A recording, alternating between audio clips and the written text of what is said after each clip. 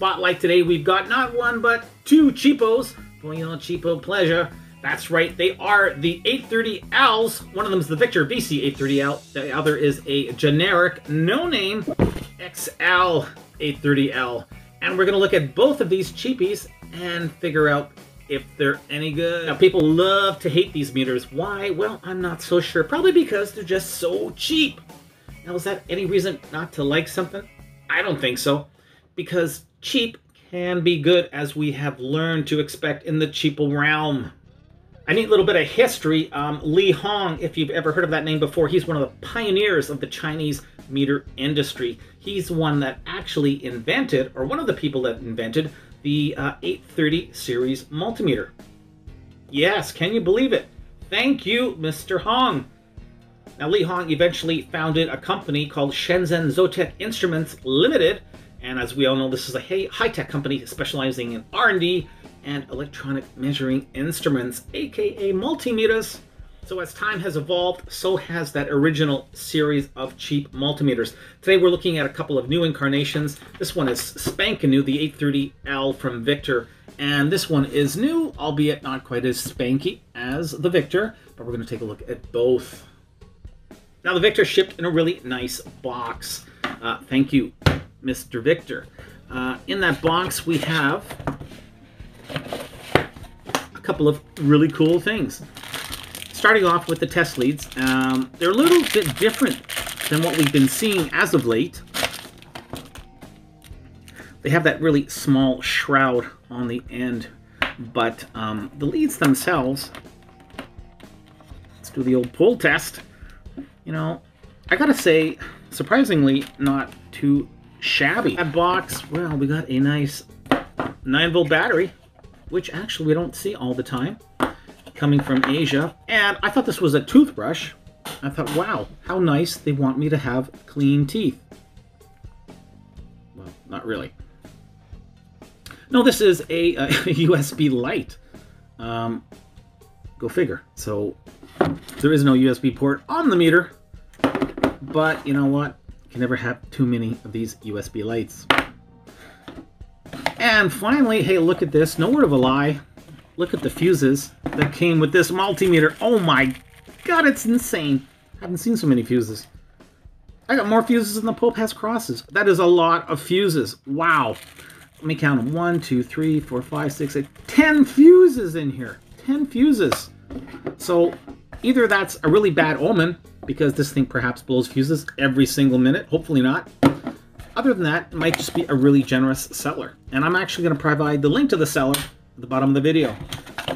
And what else do we have here? The uh, Victor VC830L little user manual, all in Chinese, but basically it is nothing more than a spec sheet, which is all we really need.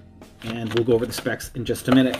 Okay, that's what came with the Victor. Now, we did not get a box with the XL830L. It shipped in a little piece of bubble wrap and we've got a set of test leads.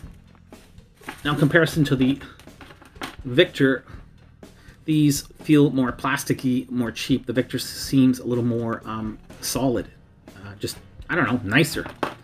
But yeah, same thin, small shroud on the edges. And finally, we have our instruction manual. This one is actually in English. Once again, really nothing more than a quick to-do spec sheet. Now, as you can see, this came in plastic wrap, and I thought I would share this pleasurable experience with you, the viewers.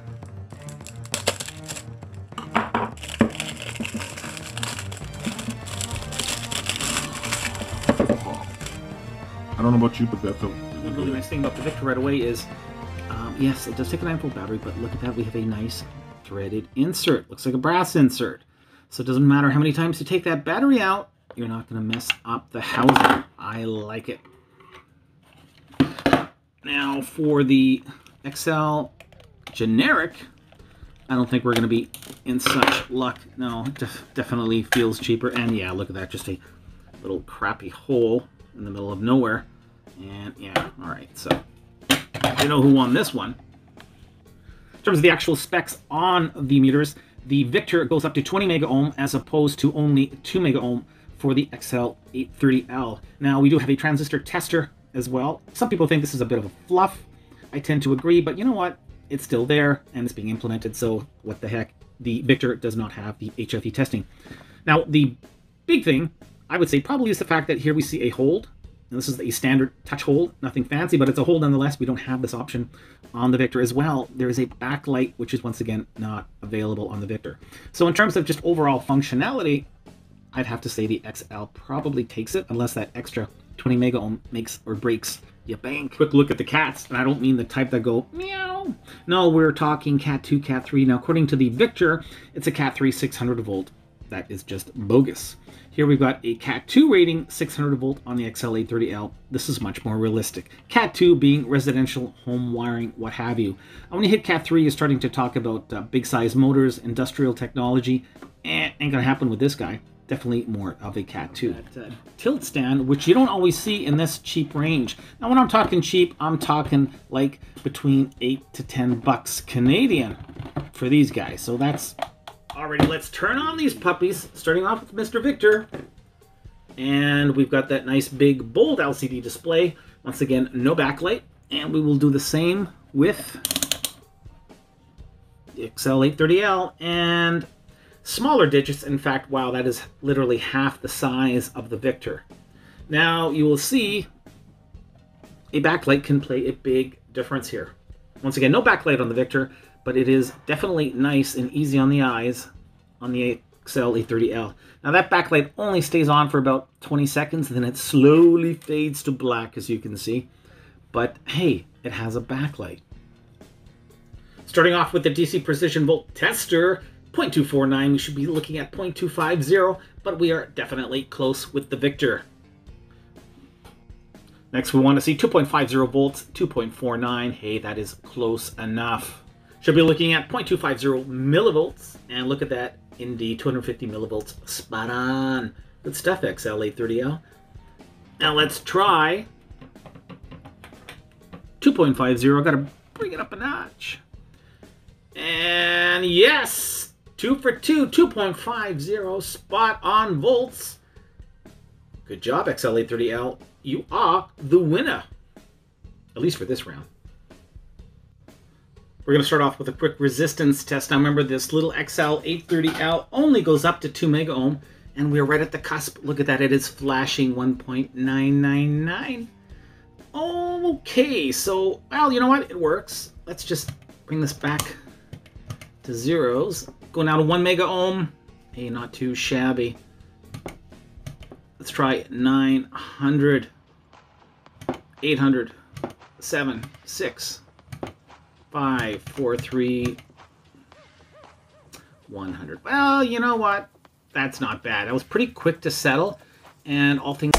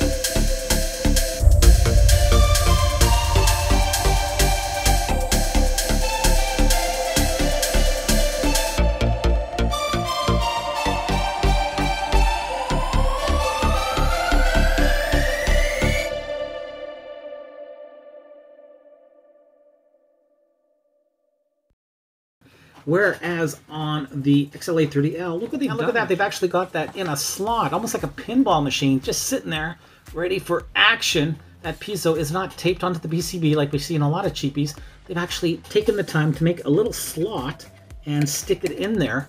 Uh, I like it. I like it a lot. That is a kind of cool thinking out of the box idea. Now the batteries are actually in the opposite place. The uh, battery for the Victor is at the top of the meter, whereas it's residing underneath the input jacks on the 830XL. Speaking of input jacks, definitely going to give this one to the Victor. Um, take a long, hard look at those. They're both split, uh, no worries there, but the soldering job and actually the filament utilized is just much better overall on the Victor. On the Victor as well, you can see they have a standard current shunt, whereas on the XL830L, they have a current limiting resistor. On the XL830L, they have a pigtail style fuse on the milliamp range. Now that's around 200 milliamp. I'd assume that's probably a 250 milliamp pigtail in there. But yeah, to replace that, obviously you're going to have to do some desoldering to get that fuse out and get another replacement. Now that being said, pigtails are a dime a dozen. These things are super cheap. You can get them on eBay for next to nothing but always a good idea to have some pigtails on hand. On the Victor, in contrast, we have two glass fuses, a 10 amp 250 volt on the high current side and a 200 milliamp on the low current side.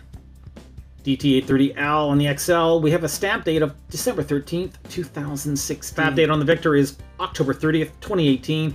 And if we take a look, it is a revised September 2019 PCB. That's also, the Victor, we have a diode clamp on the high current side of the thing, as well as a couple of current limiting resistors.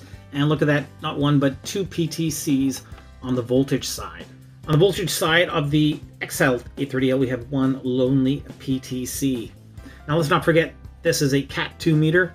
This was rated as a Cat3. Really, I would disregard that. I would consider these both Cat2. Definitely fine for uh, household voltage.